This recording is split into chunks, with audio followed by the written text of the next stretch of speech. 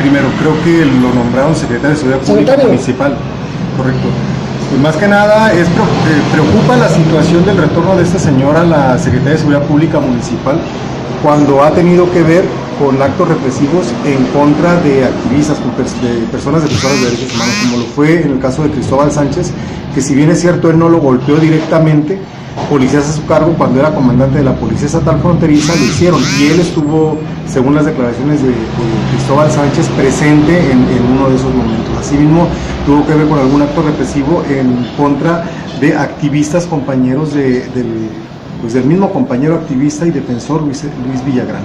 En el pasado eh, se ha llevado a cabo la pérdida de pronto de decomisos de droga en los que pues él estaba a cargo también de, de municipal y pues faltaría ver también quién es el padrino que tiene, quién está detrás de su regreso y qué intereses existen para que este señor esté presente. Es necesario la destitución de este señor y que se investiguen esos casos.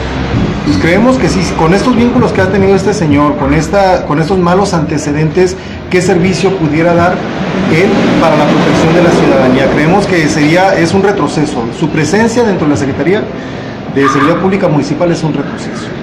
Que se destituya y se busque una persona leal y confiable que verdaderamente pase las pruebas de confianza para que se haga cargo de la, de la seguridad pública municipal aquí en esta ciudad. Claro que debe de haber personas aptas para poder re- realizar esa labor, pero precisamente por- a eso nos referimos cuando hablamos de que es necesario que se investiguen cuáles son los intereses que hay para que este hombre retorne.